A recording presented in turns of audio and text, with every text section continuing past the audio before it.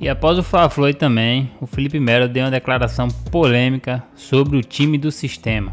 Veja aí em direta do jogador do Fluminense sobre o Flamengo. E o assunto da semana foi o Fluminense não ganha clássico. Vem o jogo mais importante, o Flamengo pela de novo. Como é que fica a cabeça do jogador nesse momento? A gente não pode deixar a coisa do externo, do externo contaminar o interno, né? É... Quando outras equipes ganharam essa competição, que de fato é muito importante, Libertadores e Recopa, foi muito bem comemorado, principalmente por parte da imprensa, né? E, e parece que quando não é o time do sistema que ganha, e aí cabe se a carapuça servir para quem achar que serva problema, eu não estou falando nenhum clube, é, é tudo mais bonito, tudo melhor, né?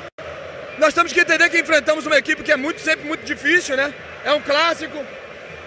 E quais são as circunstâncias de um lugar clássico? É em meio ao quê? Tivemos que abrir mão de certas coisas para a conquista maior que era a Libertadores, né? Então você só tem que entender um pouquinho e não deixar se contaminar por alguma parte da mídia que é contaminada e faz de tudo para contaminar. É possível virar? Bom, eu acho que no Carioca passado nós metemos quatro, né? No segundo jogo. E saímos perdendo o primeiro de 2 a 0 né? Difícil, muito difícil, mas nesse momento é trabalhar em silêncio. Obrigada. Yeah.